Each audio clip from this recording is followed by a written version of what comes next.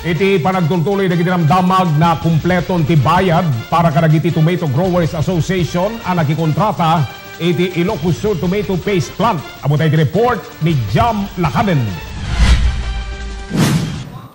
Naipaiman kadagiti tomato farmers wenno dagiti mulmula iti kamatis iti nayon na 70% abayad iti panagmula da iti kamatis ang mausar iti Ilocos Sur Tomato Paste Plant Incorporation. Iti onos iti dua bulan sakbay dangag harvest iti mula kamatis. Naiyunan ang naited kadakwada iti 30% kas pagtandanda kadagiti kadwada ang agmula. Kalaksidan pa itinated a libre nga usarenda ang agmula ken agganagan.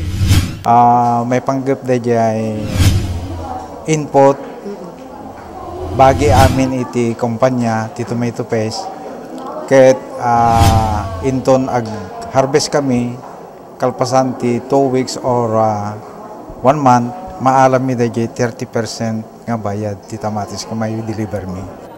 Dagitoy aman nalon na Farmers Association manipod iti sinait aging ganay ti kandon ket naragsak nga imawat kas gungguna iti bannog da.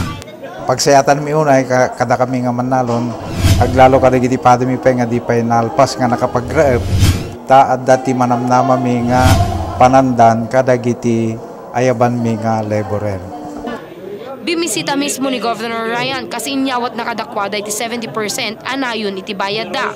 Ket binili ni ti gobernador dagiti manalon nga iti anya man napakaseknan da ket mabalindan nga iyuman iti provincial agriculturist tapno mataming a direkta dagiti kasapulan da. Ah, numalagip ya po ang pan nakatugaw nagtugaw na iti July 1 dito iti magmangkay ko ang problema. Dito 70% yun. Tatan na po. Kaya ko lang ibagagin niya yung nga tutugat na na ako binaybayan ika na natangal daw. Pakita yun na po at dito dito bibirokin yung nga 70%.